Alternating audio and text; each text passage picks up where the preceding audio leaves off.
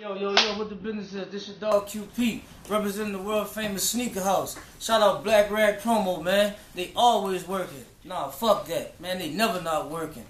Salute. Shout out to Black Rag Promotions. Matter of fact, they working. Matter of fact, they not never not working. They always working.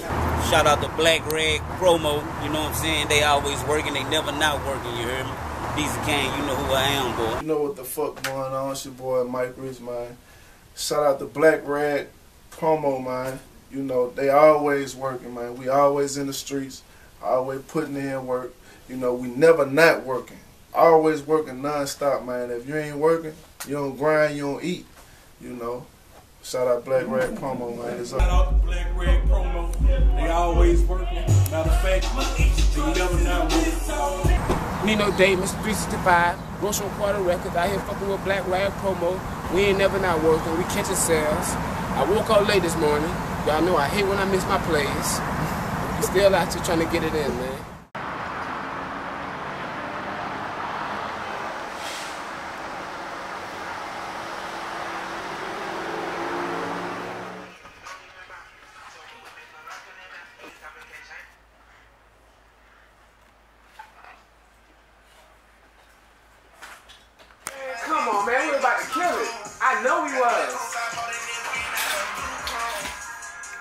I just couldn't do it.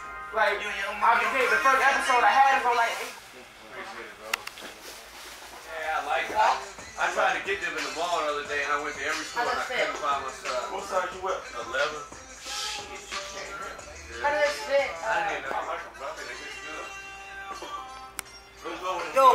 Is? This your dog QP, representing the world famous sneaker house in Baton Rouge. We've been running probably, I want to say, about eight years all together. We started off the first three at Sneaker Closet, but then the budget got bigger and we graduated from a closet to a house. So, as we have at the Sneaker House right now. And you know, it's just been going good, man. Everybody from the city come show us love. If you rap or you done made it out of BR, man, you done been through the house, man. The only people who ain't slid through on us yet, I'm gonna probably say is maybe Kevin Gates and Webbie.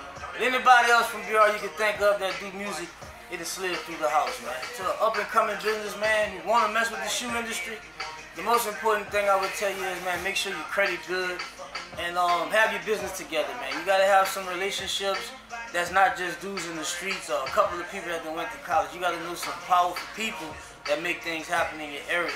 And uh, most importantly, you gotta have Nike.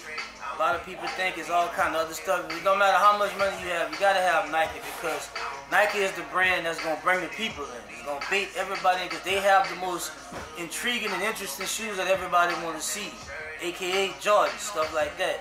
And you know, um, once you have a Nike account, the sky's the limit. You know, other brands will just fall in place, but it's, that's the only thing, and that's the biggest thing. But that's why I said, man, make sure you have your business together, get your credit right, and reach out to the right people and stay in the right circles, man. Sky's the limit after that. If you think on the universal appeal, you got Dunks, Air Force Ones, Jordans, Vapor Max, Foamposites. All the premium shoes, all the shoes that push the culture are under what brand? Nike, for the most part on a consistent basis. Reebok, Puma, you know, Adidas, they may come up with a shoe that may catch people's attention or be hype, but on a consistent basis, man, Nike is the staple for sneakers, you know? Then the big thing came out between Nike and StockX, and you know, it's, it's a big deal because, like, StockX is a major re- reseller hub. You know, a lot of people go through them when they go through the Nike app and can't get shoes. And you know, they've had a large amount of people that had, you know, successful transactions and got the shoes that they wanted. But you know, recently it came out that Nike said that they were selling fakes. And there's a big difference between a retailer and a person and the corporate giant saying that. And when Nike say that, you know, it's kind of a big deal because StockX is selling Nike shoes and if Nike's saying, hey, StockX is selling replicas and fake versions of our shoes, it kind of puts a stand on that brand, man. And um, I knew it was gonna be a problem because man, you could get StockX tags off of eBay. You know what I'm saying? That's not a good look for your business. You know, you want to be in a space where the only thing that you sell is distributed by you. You know what I'm saying? That way you don't have no questions, no doubts, and none of that. But I think it's gonna it's gonna be a bad hit for StockX for a little while. Either they gonna have to get with another sneaker brand and go hard, or they just gonna have to fall back because that ain't going away. You know, nobody wanna buy fake kicks unexpectedly. A lot of people wear fakes, but they know But if you go to StockX, you ain't looking for no fake shoes, so that might hurt a little bit.